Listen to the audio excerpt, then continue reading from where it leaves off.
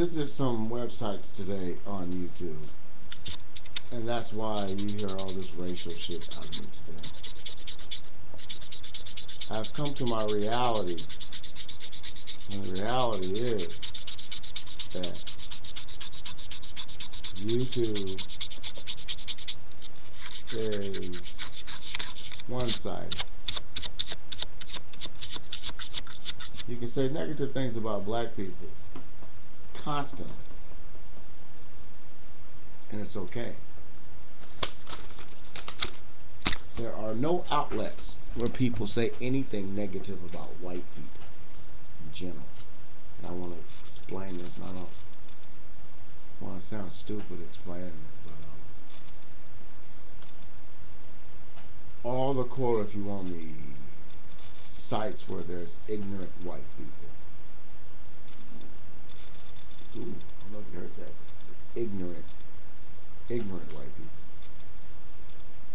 All of these sites, they got the colors, the red and the black.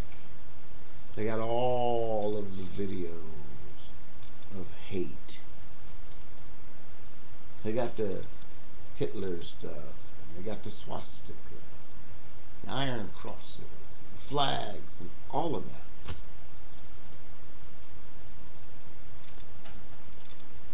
And they deserve to have all that. They deserve to have everything that is connected to any belief that they have. But if you're going to speak as a separatist, do it peacefully. There's no eradication. There's no get rid of Israel. There's no, you know, yes, I hope the Palestinians kill them all. I mean, I've seen on the YouTube where people will perpetuate hate. No, I don't want the Palestinians, Palestinians to kill all the Israelites. Why? Why should anybody die? Especially over beliefs. If you don't believe as I do, shame on you. If I don't believe as you do, shame on me. And life goes on. You know, there is good and bad in everyone. We must learn to live. What the fuck am I saying? We don't have to learn how to live in peace with each other. We just got to do it. How stupid are we as a species if we have to learn to be peaceful? See, that is the crux of all this racial animosity bullshit. We shouldn't have to deal with them. They'd be nothing without us. How do you know what kind of world this world would be if they didn't have the quote unquote white influence on it? We may be a technological society instead of a cash driven society.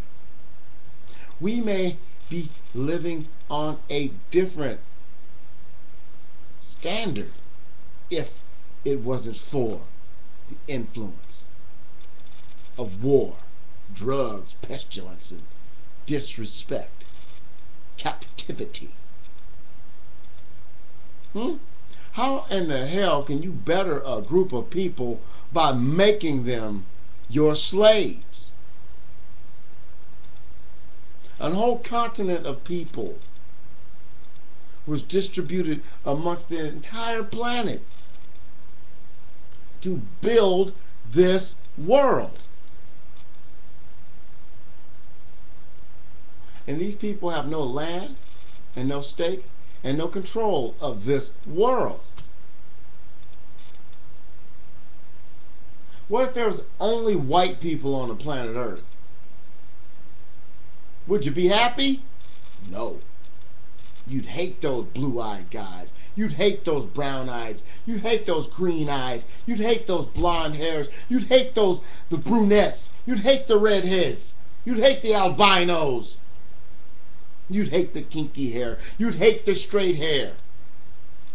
You'd hate the curly hair. You'd hate the flat hair. Because someone would market the indifferences. Because now, what if there was no hate between any of the races? At all, no hate. Then the other factors would kick in. The size, the hair, the eyes, the voice, the language. We need excuses to dislike each other. But we never use those excuses to need one another to better each other. White man, black man, Mexican, Chinese man.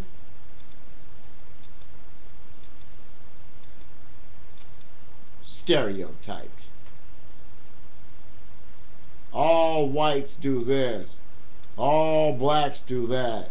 All Mexicans are this. All this is that. And that and this and that and that.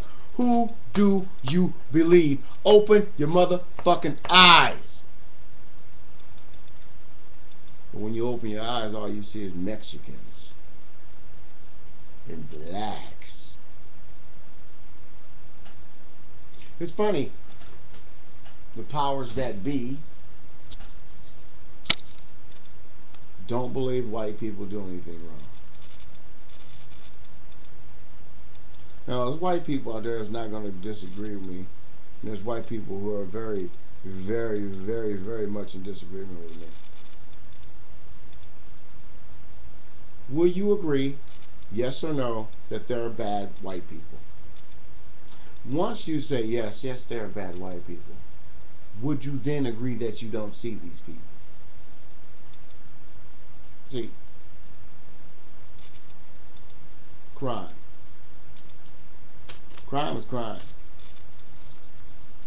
White crime, white on black crime, black on white crime, black on Mexican, Mexican on black, Mexican on white, white and black on Mexican, Mexican and black on white, blah, blah, blah, blah, blah, yakety schmackety. The fucking cycle continues until we as a people of the United States of America get up and say to the world, these things do not exist. Because they don't. They don't exist.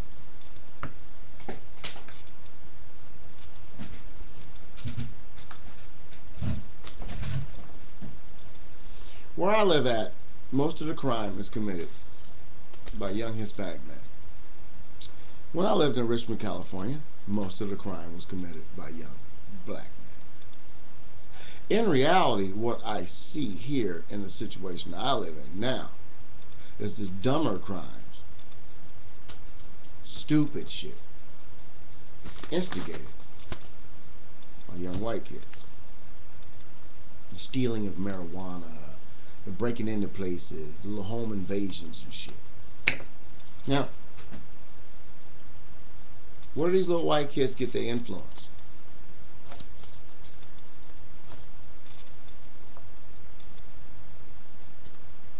Pop culture. We're now all on the same mental level. Things aren't seen equally. See, if I got caught with an ounce of crack cocaine, throw away the key. I get caught with an ounce of powdered cocaine. It all depends on who I'm with when I get caught. But you don't throw away the key. Why are the laws set the way they are? To control fear mechanism. You don't see white crime, you see black crime. Therefore, there's more black people doing it. There's less black people in the United States than white people. So how? I don't even want to go there. That's for Jay Ryder does the numbers. But you've been tubed. This is only part one.